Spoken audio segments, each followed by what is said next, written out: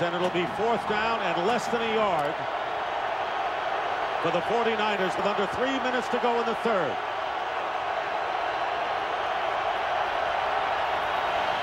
They give it to Frank Gore, and a second effort by Gore, and he breaks it. And he's going to score. Wow. What determination by Frank Gore as he goes 43 yards down and one for the 49ers.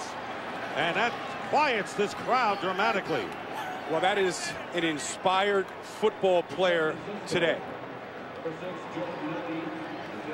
They had him completely stopped in the middle. But this is a very powerful and strong player. See, he breaks the tackle, Corey Chavous. He got no help. And then look at the way this kid can finish. And Joe Nedney looking to break the tie, and he does. And the 49ers have taken a 14 to 13 lead.